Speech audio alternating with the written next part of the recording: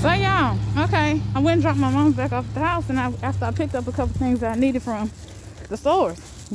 Y'all be seeing that video on the few. Got last minute edit, some last minute editing to do to it.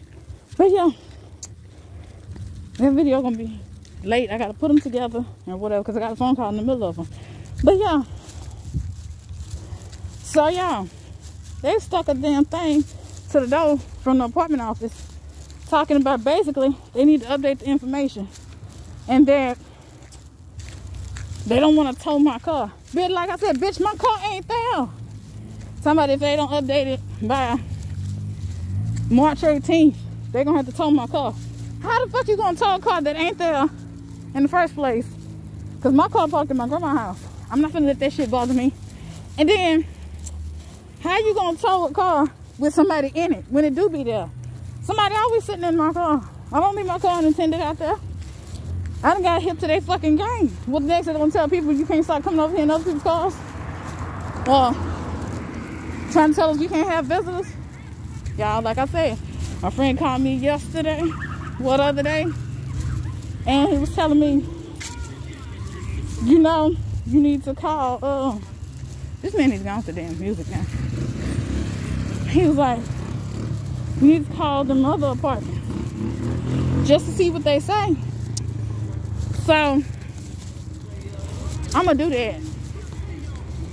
Oh, that wasn't them. That's them right here. I'm about to press pause. Okay, y'all. I think I got just about enough of that music out the way. But yeah, no copyright strikes for me. But yeah, I sure would like to see how the hell they're gonna tow a car that ain't there. Let alone if it's a car and some, with somebody in it, like this car right here beside me. But yeah, you can't tow a car when somebody's in it and the car's running. That mean they ran, go get something come back out, or somebody in their car waiting on somebody. I sure would like to see them do that too. But once again, y'all, I got this recorded. Because this ain't the first time they did this shit. Try to tow somebody, try to threaten me that they're gonna tow my car when my car ain't there.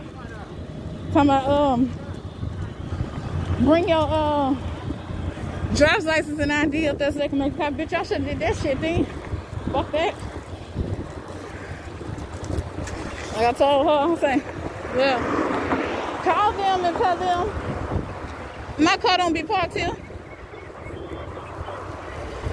My car be parked at my grandma's house, like I told the, the previous manager. I said, so Y'all just, y'all gonna go to my grandma's house and get my car? That's private property. Y'all can't go on somebody else's property and take their car. Take nothing from their property, let alone if it's a vehicle or whatever it is.